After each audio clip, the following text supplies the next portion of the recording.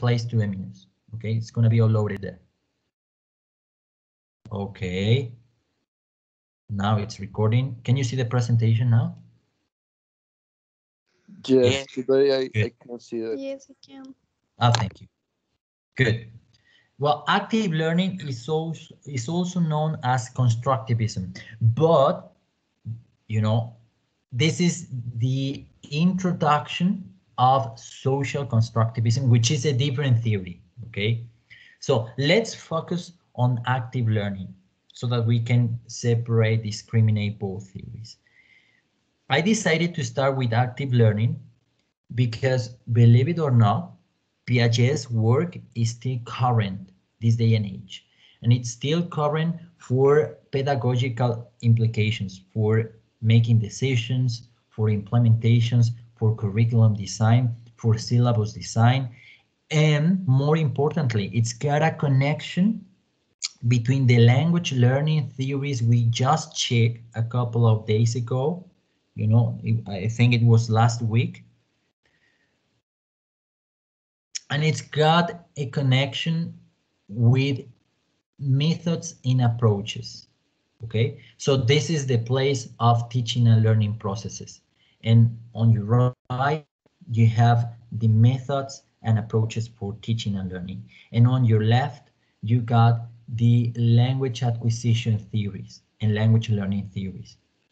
So it's important to have this approach where we can see, you know, around to actually know what we are doing and what is happening with these processes. So today we're going to focus on active learning. Before going uh, going through active learning, it's important to set the conclusions we together reach. Okay, we all together decided and stated that every student is unique. How did we do it? Well, because you provided with a, your learner identity brainstorm. Remember? Yeah. I check it, I comment it. You explore your own processes, you explore your background, your learn and teaching experiences were there and your characteristics. So the conclusion might be that everybody is different.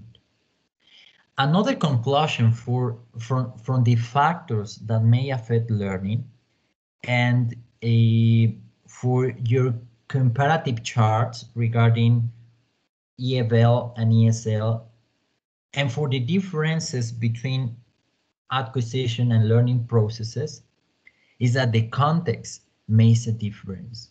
It does make a difference with regard to age, with regard to gender, with regard to proficiency level, with regard to background, to personal history, individuality, the context makes a difference regarding the curriculum, the syllabus, the approach, the instructor, the teacher, the attitude, the aptitude, the cognitive skills, the issues of power or perceptions on language or perceptions of the English language, etc.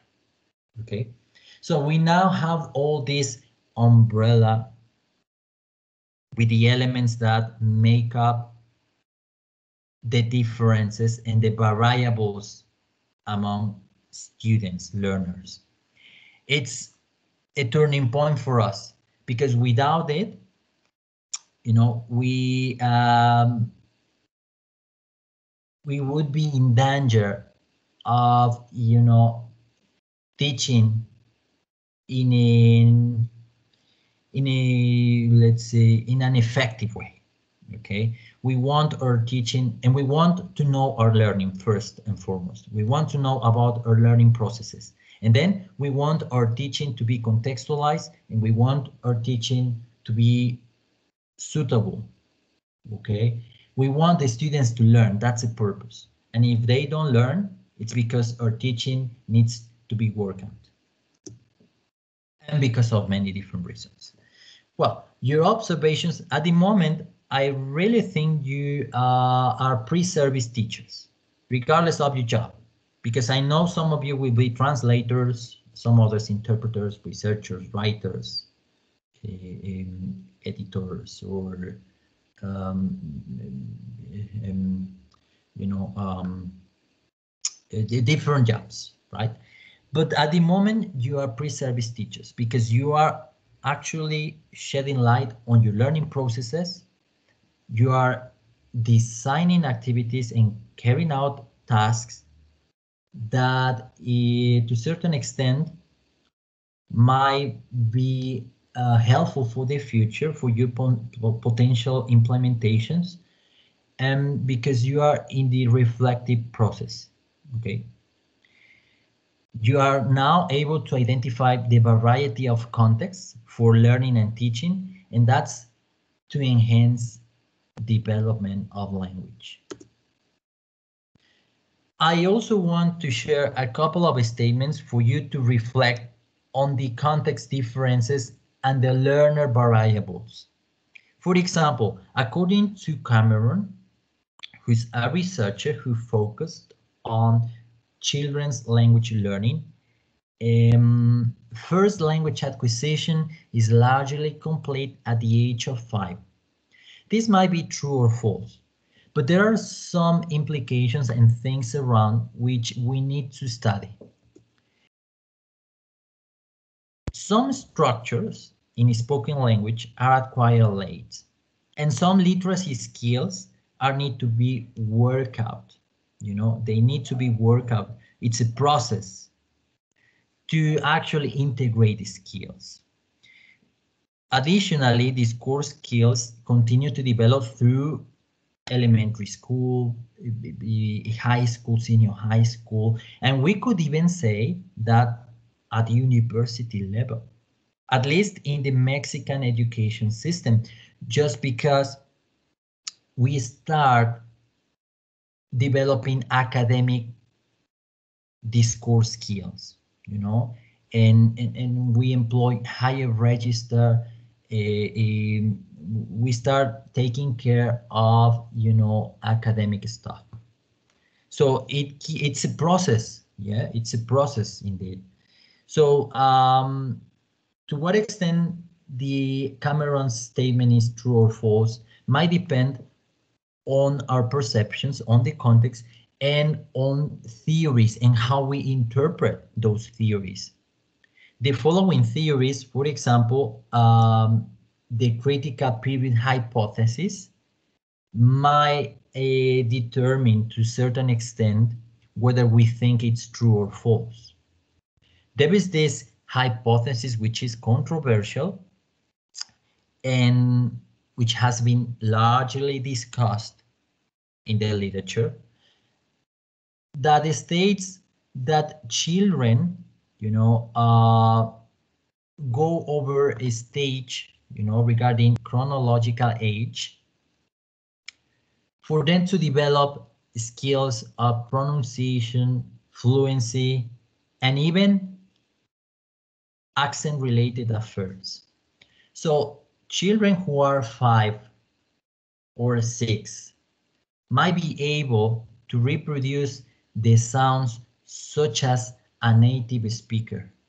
In this case, English native speaker, right? Um, this hypothesis has been explored and even researched. Um, and there is this case of a, of a child, you know, called feral child. It's very famous because everybody took advantage of this situation to do research this child had no interaction at all. Okay, uh, this child actually discovered new ways for communication. And the importance of, of, of social interaction and culture does make an impact on language development. This is this is the you know this is the, the these are the figures you know this this is the data. Uh, However, you know, those sounds were impacted by the environment and what is around. So it's close related to Piaget's theory. And the critical period hypothesis was questioned, you know, was questioned because of this opportunity to do research. And of course, you what you need to do is to go and read Lightbown Spada Kim. Uh, you could also read Cameron Pinter.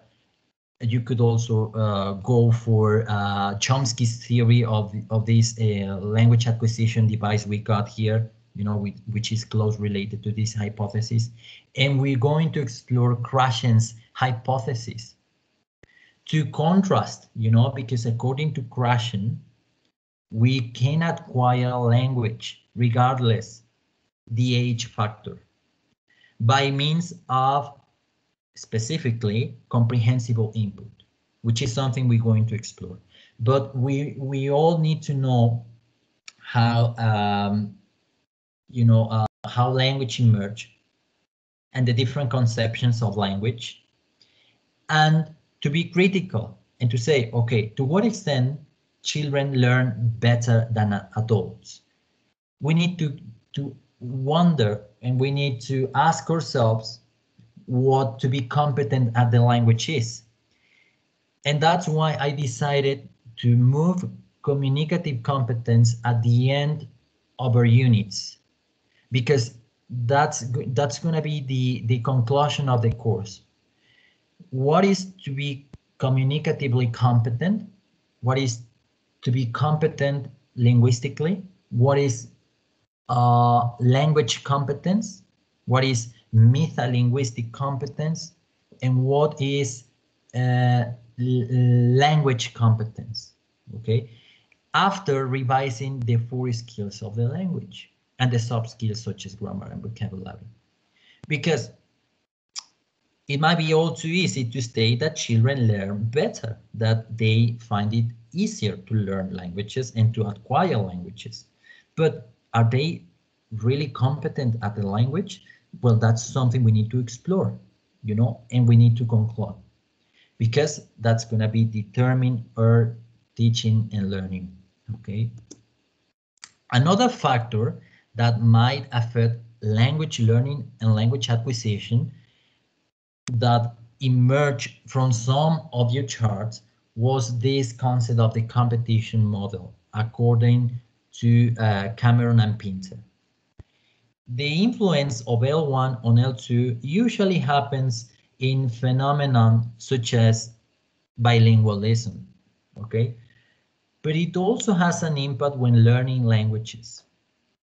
Just think of yourself when you're trying to come up with message and you want to transmit knowledge or you just want to express and speak up your mind and you can't find the words in a language but in another.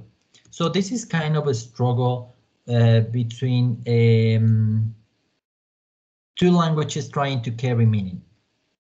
Okay, if you want to read more about this uh, language related issues, you know, this is about ling linguistics, I strongly recommend reading Cameron and Pinter, okay? Because this could also be a factor that affects language learning and language acquisition, okay?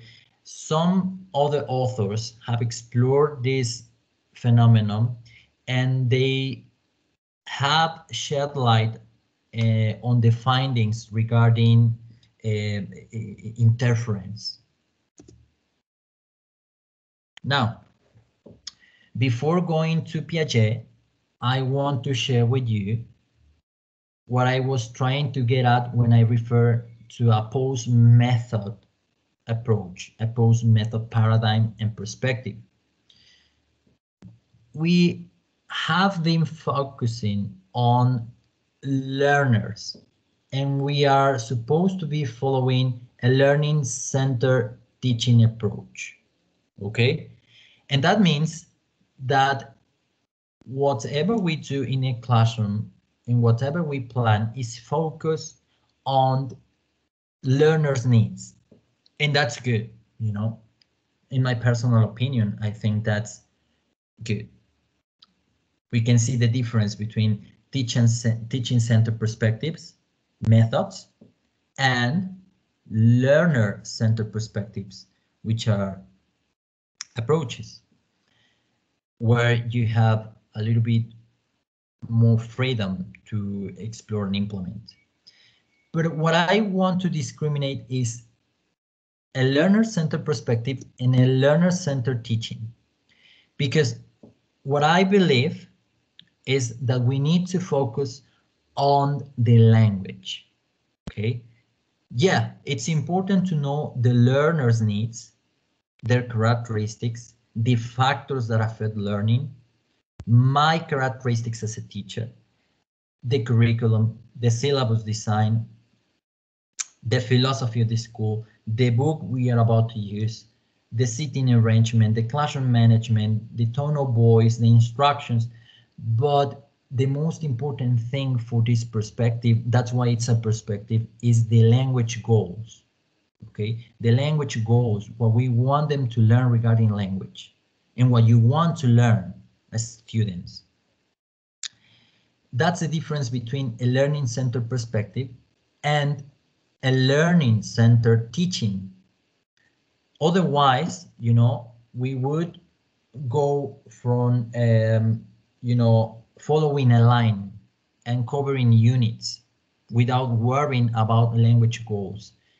And if everything was covered, good. If it wasn't, well, maybe next time.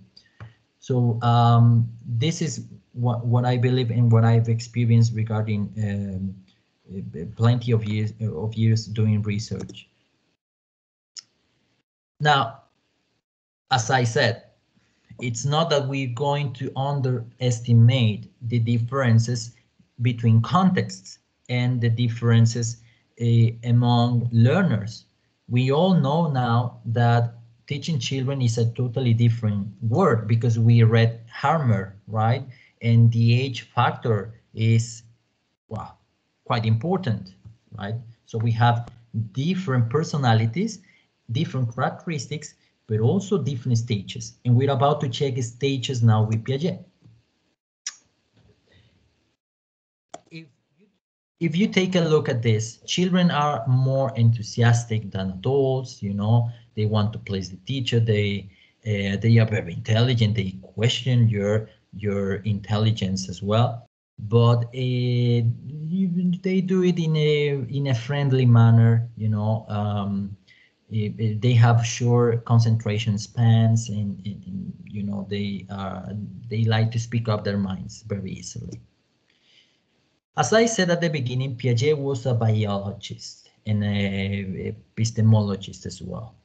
But his work had lots of impact on uh, pedagogy teaching and learning processes and psychology as well. His theory is called constructivism, okay, which is also known as active learning because of the concepts he uh, worked on. Active learning is basically the individual's construction of knowledge by their own, by means of making sense of what is around them. one thing that I decided to include in the presentation is the um, importance of the environment.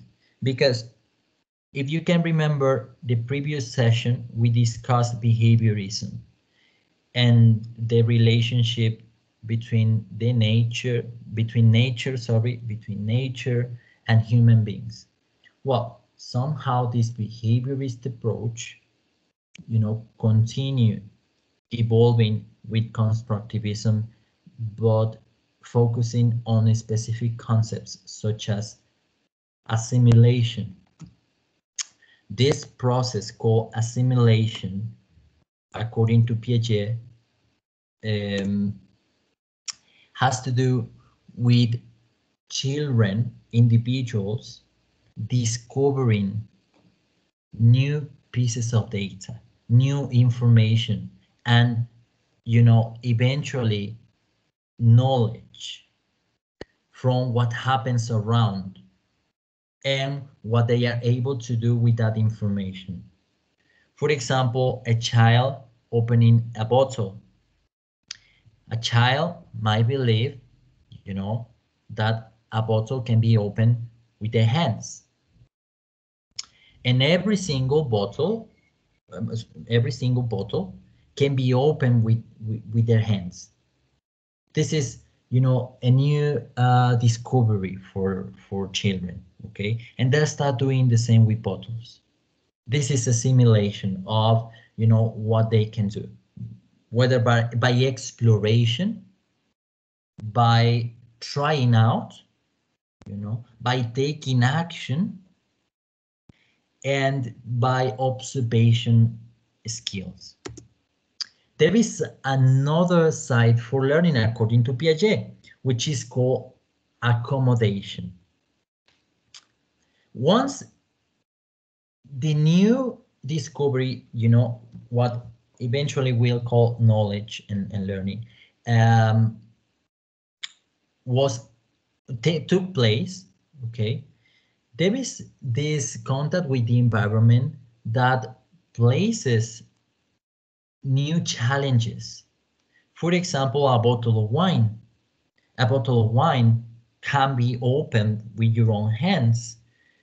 And that's when children or individuals need to change this construction they have when they assimilated.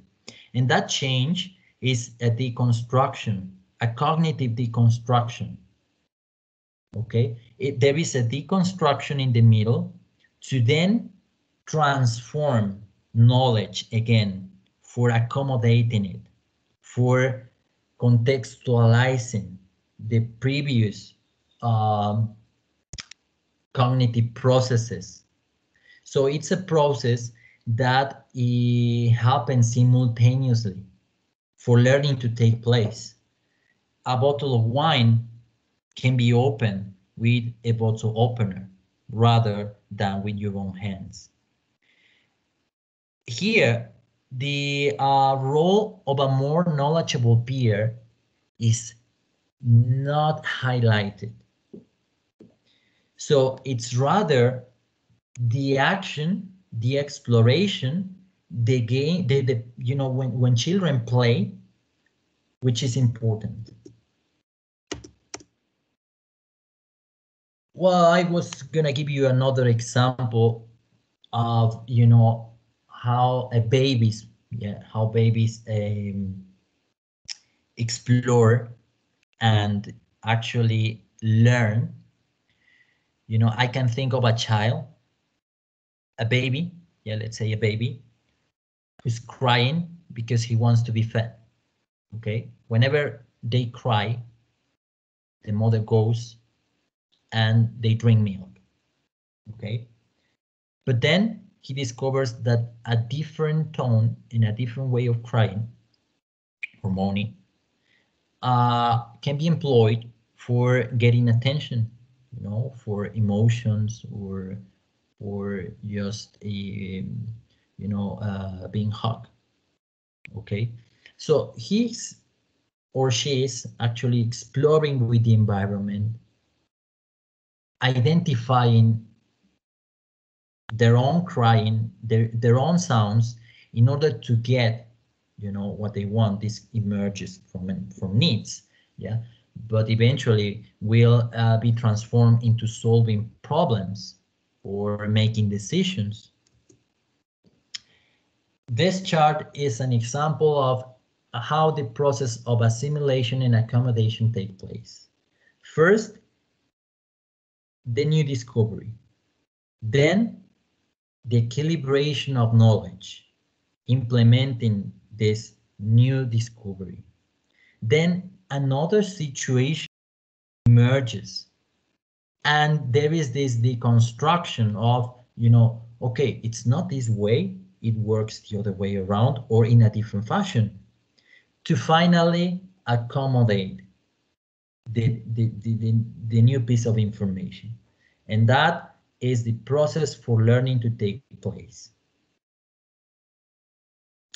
The child, according to Piaget, uh, has to do with problem solving, as I said, you know, uh, the interaction of the world, the environment, and our own existence and perceptions for taking action and you know um, come up with learning outcomes. Okay, so this is basically the cycle, you know, which Piaget proposes, and he sheds light on actions and uh, in exploration and a relationship with nature, with environment.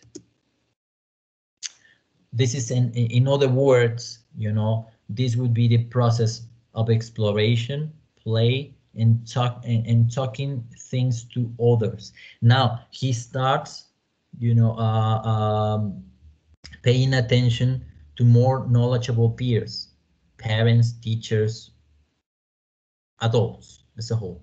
Okay, for this inner dialogue, which is doing and talking, we usually um, do things. Well, I don't know you, but I usually do things and I trying to shape a model here with my hands and I'm talking to myself, you know, saying, okay, this goes here and here, okay. So it's something that happens simultaneously and it's part of your inner speech. Um, for, let's say this way, for Piaget, this inner speech was an individual, uh, an individual process, while for other scholars, this had to do with interaction and with our need for sharing knowledge. Well, I just gave you an example of exploration, but it would be uh, it would be um, a good idea to provide with another example of exploration, such as a child playing with a water um, that would be very straightforward, but in abstract terms, it could be the exploration of conversation with others now that we are trying to uh, land this issue into language. When we have this example of a conversation with others and playing water, there are certain stages that Piaget provided with and those have to do with uh, sequences and cognitive development. The first one is the sensory motor stage, you know, little children, and we'll see from zero to two years old. Pre-operational stage from two to seven years old. Concrete operational stage from 7 to, um, let's say, 11.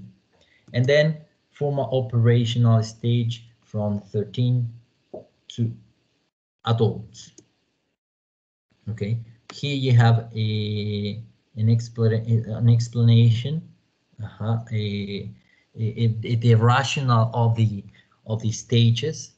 You know, you can see the differences regarding physical differences, cognitive differences, um, and, well, um, it would be good to observe children, you know, to observe babies who are around your context or watching videos in order to actually identify the stages are accordingly established for, you know, a generalization. For the sensory motor one, you have the child learns to interact with the environment by using the hands, you know, touching. Pre-operational. The child's thinking is largely reliant on perception, but they gradually become more and more capable of logical thinking.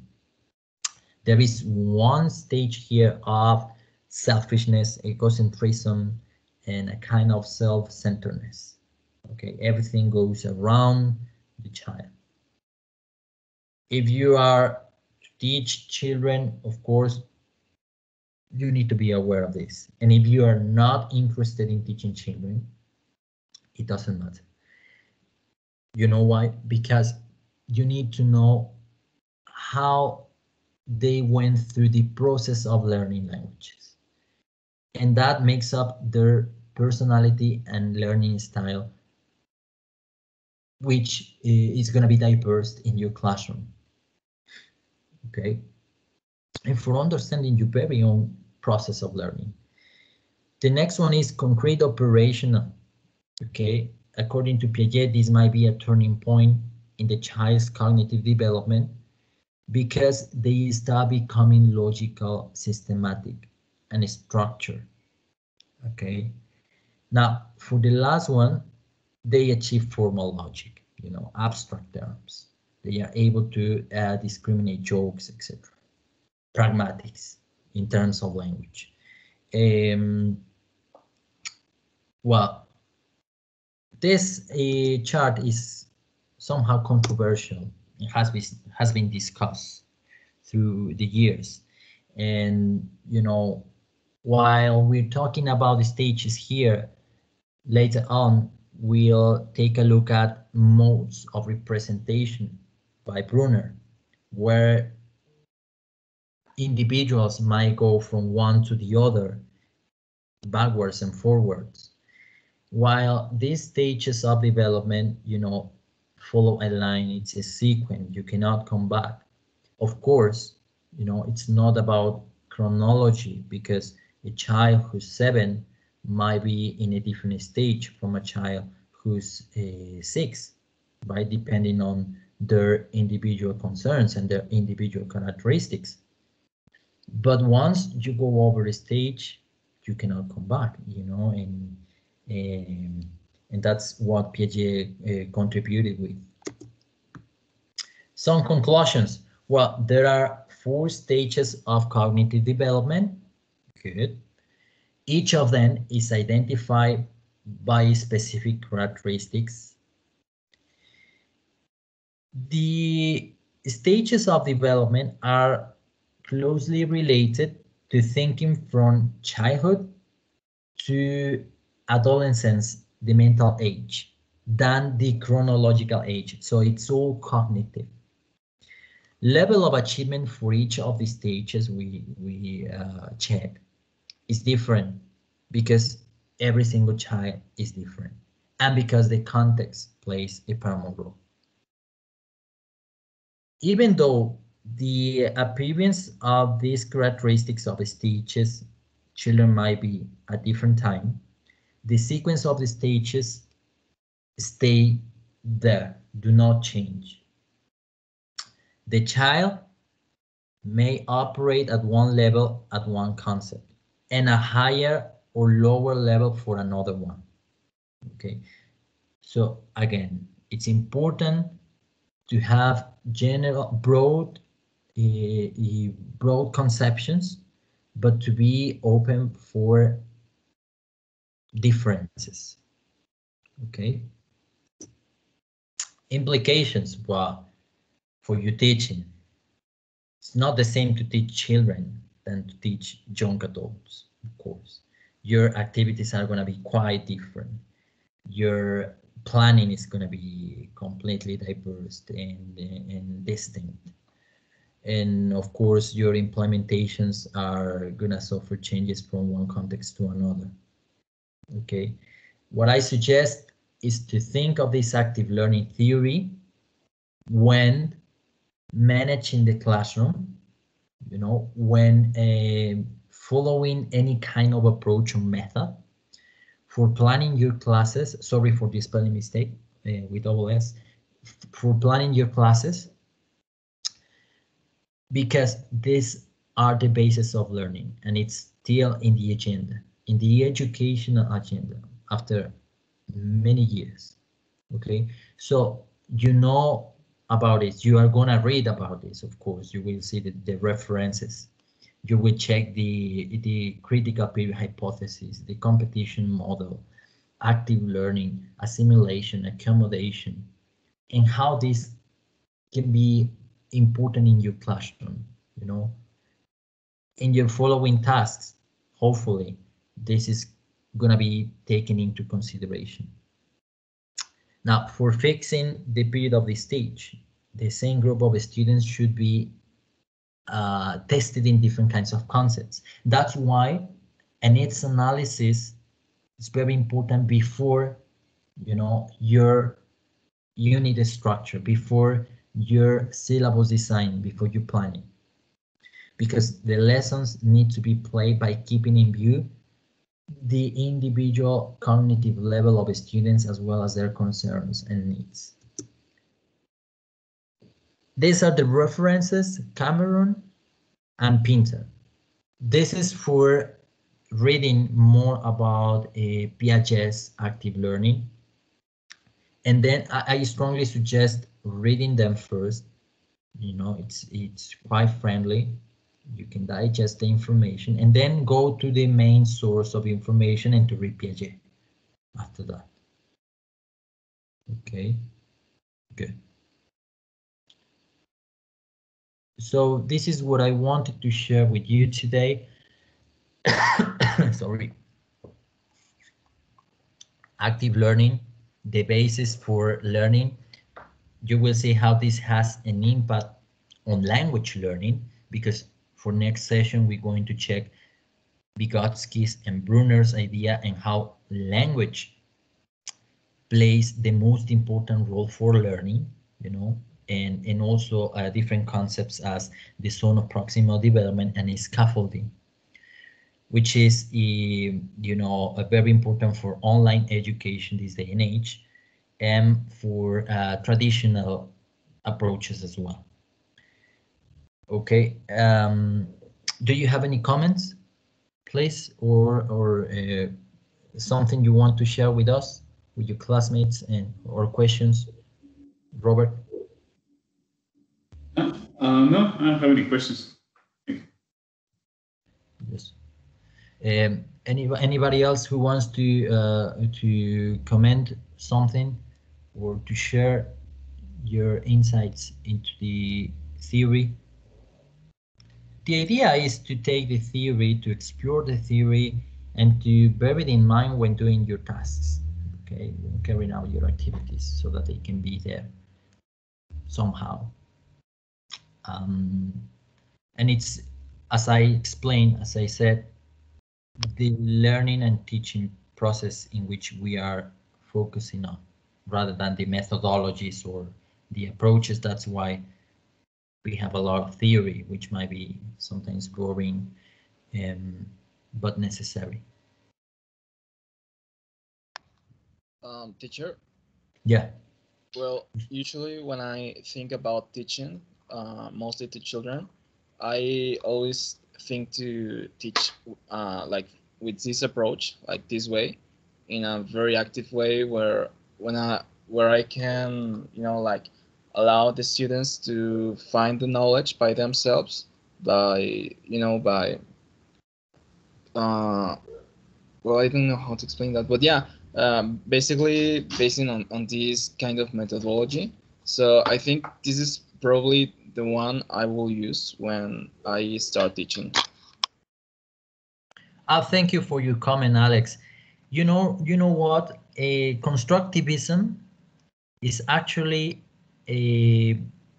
present nowadays. Um, we have a lot of schools which follow constructivist approaches, primary schools, elementary schools, uh, high schools. The uh, even, you know, you know, at the University of Veracruz, we have the competences model, but some of us teachers actually follow a constructivist approach, you know, because this is this is not a method, not even an approach.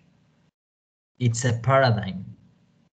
And when I say that we follow this approach, which is a paradigm, is that we have a vision of education as you know uh, being actively involved in what is happening and you know focusing on what is important regarding language or your area of knowledge so a lot of teachers at university follow this and and you know at every um, at, at any any educational level you know, because it's a way of seeing education as a whole, the the complex arena of education.